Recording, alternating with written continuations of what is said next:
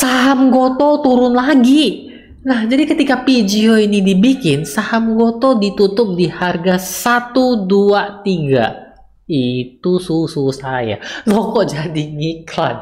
Nah, jadi kenapa tuh saham turun? Apa hubungannya?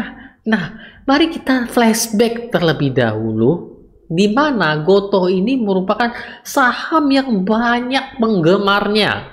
Kenapa enggak? Ketika IPO, Jumlah saham yang ditawarkan itu adalah 1,18 triliun saham. Bayangin udah banyak kan? Mengagetkannya lagi, over subscribe 15,7 kali atau sudah mau 16 kali. Ini ibarat kan kita datang ke pasar itu cuman ada satu ekor ayam yang mau beli 16 orang, bayangin. Permintaannya banyak sekali, penawarannya nggak cukup. Nggak hanya sampai di situ saja, Goto ini masuk indeks IDX 30, indeks LQ 45, IDX 80, dan merupakan salah satu saham market cap yang sangat besar. Oleh karena itu, penurunannya juga sangat berdampak di berbagai hal. Dan sebelum masuk ke video lebih dalam lagi, saya mengucapkan banyak terima kasih kepada teman-teman yang sudah mampir di video ini, mau nonton video ini sampai habis, nge-like dan nge-share untuk teman-teman lainnya agar bisa nonton bareng. Karena ini merupakan salah satu bentuk apresiasi teman-teman kepada saya yang sungguh saya sangat hargai. Oke, jadi kita lanjut lagi. Nah, jadi seenggaknya karena si Goto ini market cap-nya gede, jadi penurunan IHSG ini juga salah satu didampak oleh Goto. Ya bayangin ya market cap-nya gede dia turun begitu dalam. Ini nggak heran saham-saham yang lain untuk menaikkan IHSG itu juga terkena dampak oleh penurunan saham Goto yang bisa dikatakan cukup dalam ini. Tapi Goto bukan satu-satunya sih yang bikin dia merah terus ya Kan ada yang lain juga. Jangan salahin Goto terus dong. Nah, kemudian ada yang bilang, Yung, lu kan nggak invest saham Goto, jadi nggak apa-apa dong. Ya, saya memang secara langsung nggak punya saham Goto, tapi saya punya saham Goto secara nggak langsung. Lah, gimana itu Yung maksudnya? Nih, saya tampilkan dulu ya di samping sini. Oke, sudah muncul ya. Ini merupakan layar bibit di mana saya investasi reksadana. Teman-teman kalau mau investasi reksadana boleh pakai aplikasi bibit udah enak banget. Tinggal download di Play Store maupun App Store dan jangan lupa kode referralnya di atas ini biar dapat cashback 25.000. Nah, kita lanjut ya. Bagaimana sih saya nggak memiliki saham Goto secara nggak langsung? Ini loh di dana pensiun saya itu ada reksadana saham di mana reksadana saham ini top holdingsnya Goto nih seperti di BNI AM IDX IDX 30 scroll aja ke bawah tuh sahamnya itu Goto ada bahkan nih kita lihat ya untuk pergerakannya satu hari ini masih minus 1,07 persen Saking turun-turunnya ini selama satu bulan belakangan ini, ada salah satu teman-teman yang sudah mengingatkan nih. Dia mengingatkan seperti ini loh, teman-teman. Saya kasih lihat ya.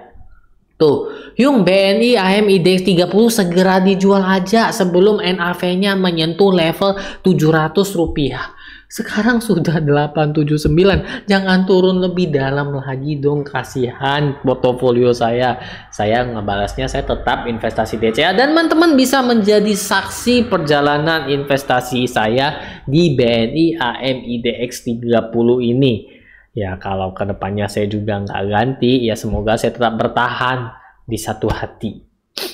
Dan rupanya nggak hanya di BNI AMIDX 30 saja, ini juga ada salah satu teman yang juga menyampaikan seperti ini.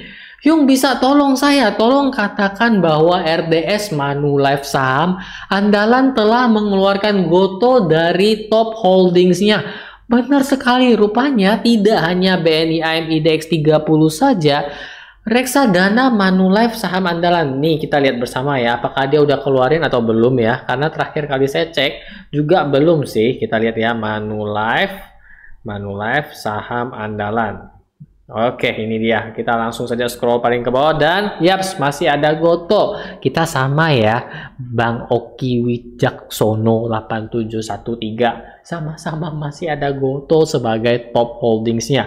Namun nggak perlu takut karena kawan kita banyak. Seperti yang disampaikan di awal video, teman-teman karena peminat ya. fansnya banyak si Goto maka banyak juga reksadana atau manajer investasi yang memasukkan Goto sebagai top holdingsnya.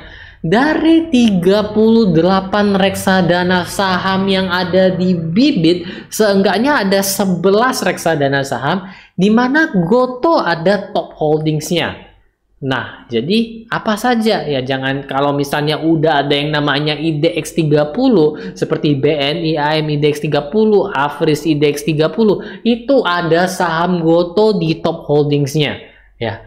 Hampir semua reksadana saham BNP Paribas juga ada Goto di dalamnya kecuali BNP Paribas Sri Kehati yang sempat saya review di video-video sebelumnya.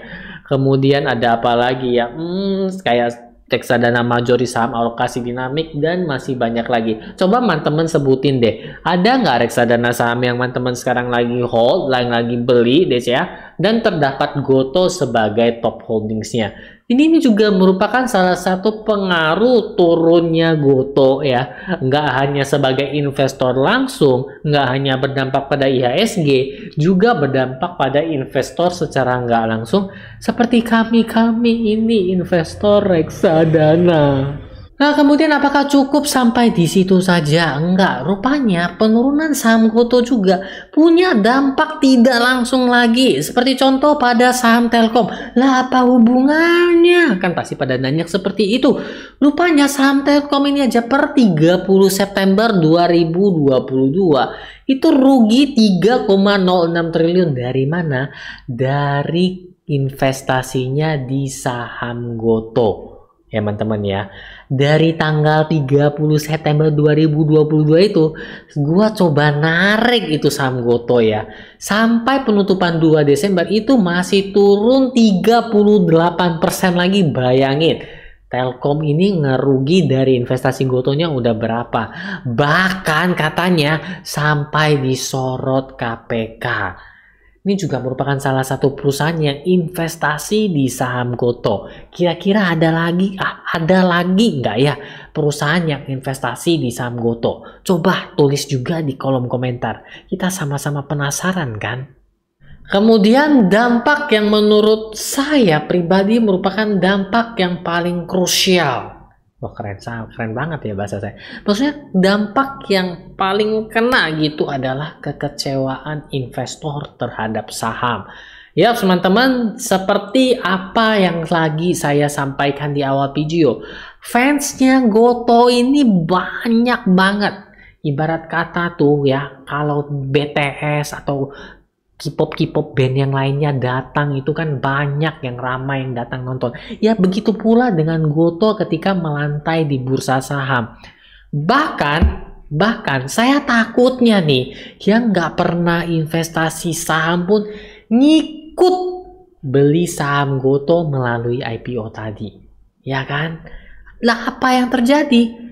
Kalau kita kita yang udah biasa di dunia kejamnya dunia saham ini itu udah nggak terlalu gimana ya? Tapi bagaimana para investor-investor yang mungkin baru terjun ke dunia saham yang baru mendapatkan praktikum kuliah untuk belajar investasi saham yang ingin mencoba investasi saham dan yang lain sebagainya. Dan bayangin ketika saham Goto dijadikan pilihan untuk investasi. Enggaklah dia teriak, mendingan saya all in pilih Jepang. Kok saya jadi salah ngomongnya? Mohon maaf ya, pentingan saya nggak investasi saham. Ya bisa kepikiran kan sampai seperti itu kan. Karena ini sahamnya fansnya banyak. Yang rekomenin mungkin karena fansnya banyak juga banyak. Tapi hasilnya nggak sesuai ekspektasi ya iya perusahaan juga masih ngerugi banyak. Jadi apa yang harus kita harapkan kan seperti itu dan turun. Nah inilah menurut saya dampak yang paling berbahaya kekecewaan para investor. Jadi nanti ada bilang, wah investasi saham itu judi dan sebagainya kan.